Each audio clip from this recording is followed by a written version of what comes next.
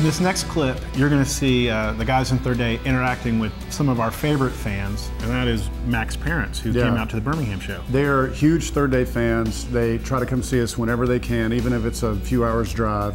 And uh, you know, you would think after a few years they've come to so many shows they'd start getting free tickets, but no, we're going to make them pay Oh, yeah. every single time. Oh yeah, every time.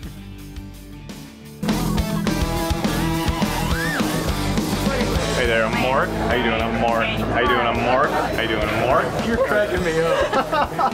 Well, all it is is it's accents, and I'll show you like. Hannah, very good to meet you. Matthew, it's good to meet you, man. It's good to meet you. Like Tanya Tucker, you get that every day of your life, don't you? Or hey, Scott. Good to meet you, man. Good to meet you. So it's like my drumming is not rocket surgery, man.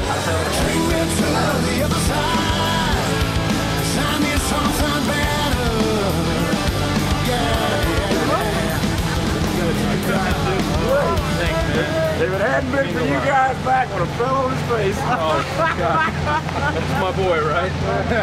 Y'all did. uh, That was one of the best, not the best show that I've ever seen you guys do, but it was one of the best ones Good, good. lately. Yeah, and I'm proud of every one of you. Best one was West Side Baptist. But we didn't. '93. But right? we. Yeah, that's right. How did you remember that? But uh, you didn't do Sweet Home Alabama, and I'm disappointed in all of you. We just we didn't want to read the emails later. But those uh, jumbotrons, they show the little wrinkles and dimples. You need to get some sleep, son. See the real number one fan. Oh man. Right, that's right. You're the at the head of the fan club. We love you. Bless you. All right, we love you too, man. And, uh, Thank you. See you later, son. Love you. Take care of them youngins. See you next trip.